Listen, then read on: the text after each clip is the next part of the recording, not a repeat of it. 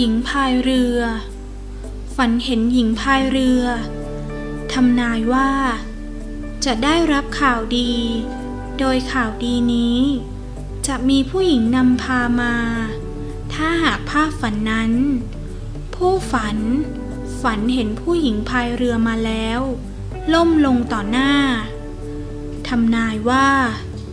จะเกิดเหตุร้ายๆกับเครือญาติที่เป็นผู้หญิงช่วงนี้ ควรหมั่นติดตามถามไถ่สารทุกข์สุขดิบของญาติญาติ